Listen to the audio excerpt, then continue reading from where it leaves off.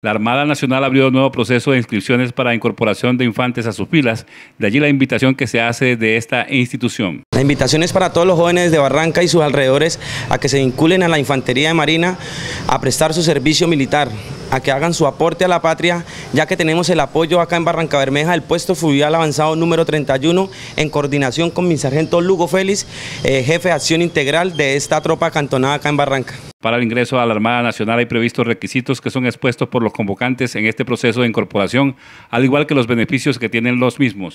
Principalmente los requisitos es ser mayor de edad, eh, la edad está entre los 18 y 24 años, para poder ingresar, no importa que sea bachiller o que no sea bachiller, simplemente va a cambiar la modalidad.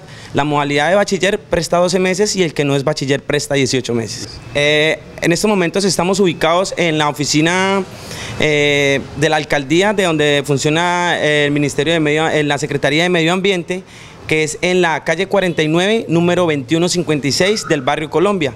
Eh, también me puedo ubicar, nos pueden ubicar al teléfono 312 891-0405. 312-891-0405 o si no en las instalaciones del puesto fluvial avanzado número 31 que queda en la vía Yondó. Ser miembro de la Armada Nacional, primero que todo es un orgullo portar este uniforme y contribuir con el proteger el azul de la bandera. Abierto este proceso, los interesados pueden acercarse a las instalaciones del Centro de Administración Municipal CAN o al puesto fluvial de Barranca Bremeja.